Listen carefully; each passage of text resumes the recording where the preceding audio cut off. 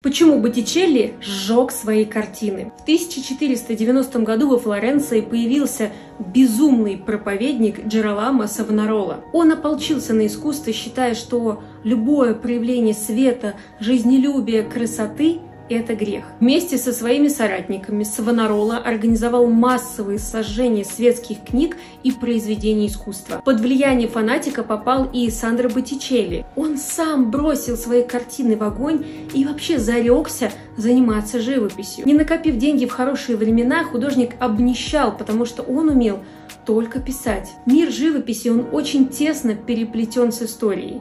И смотреть по-другому на мир искусства вам поможет мой курс «Арт-шпаргалка». Подробности по ссылке в закрепленном комментарии.